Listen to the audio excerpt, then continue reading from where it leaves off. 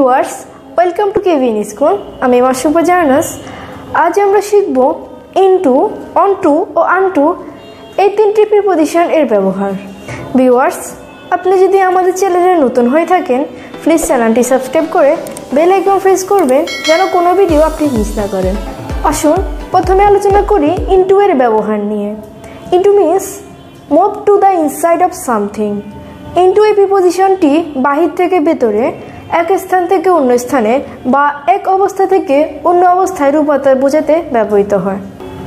যেমন I put the money into my pocket আমি টাকাটা পকেটে রাখলাম। বাক্যটাকে যদি এভাবে বলি I put the money in my pocket তাতেও একই অর্থ বোঝাবে যে আমি টাকাটা পকেটে রাখলাম। কিন্তু খেয়াল রাখতে হবে ইন্টু তখনই ব্যবহার করব যখন মুভমেন্ট অর্থাৎ গতির বিষয় থাকবে বা চেঞ্জটা বোঝাতে চাইব। যেমন he jump into the pond সে পুকুরে ঝাঁপ দিল। He look into the room সে রুমের ভেতরে তাকালো। হি মুভড ইন্টু লন্ডন সে লন্ডনে চলে গেল।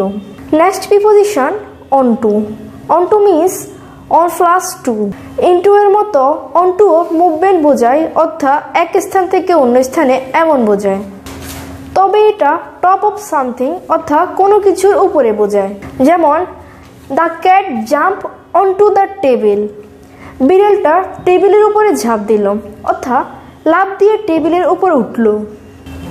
বা বলা যায় she went onto the roof সে ছাদে গেল, অর্থাৎ ছাদের উপরে গেল। I moved onto the next floor আমি পরবর্তী তলায় উঠলাম। খেয়াল করবেন টেবিল, ছাদ বা ফ্লোরের ভেতর বা ইনসাইড বলতে কিছু নেই। তাই এখানে ইনটু ব্যবহার করা যাবে না।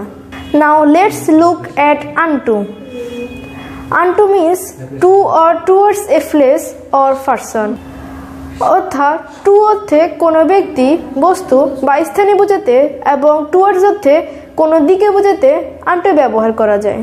তার মানে যেখানে টু বা টুয়ার্ডস ব্যবহার করা হয় সে সকল ক্ষেত্রে আমরা আনটু ব্যবহার করতে পারি। For example he passed it unto me সে ওটা আমার দিকে বাড়িয়ে দিল। Or he walk unto the hospital সে হাসপাতালের দিকে হাঁটলো।